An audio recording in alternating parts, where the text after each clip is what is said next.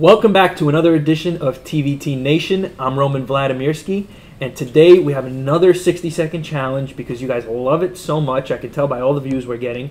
Today we're going to talk about Bronxville, New York, which is one of my favorite places in Lower Westchester. Okay, here we go. Three, two, one. Bronxville, New York is a village located in the town of Eastchester in Westchester County.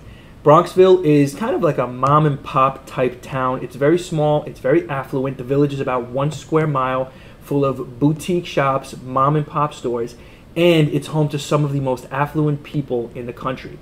Bronxville was voted ninth in 2019 as America's in America's top 100 cities.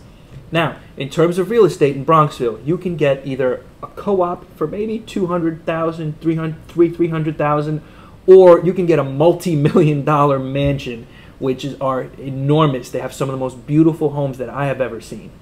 Also in bronxville it's got a, it's a very very small tight-knit community. Especially on halloween you can take your kids from store to store and they can trick or treat it's amazing. It's fun.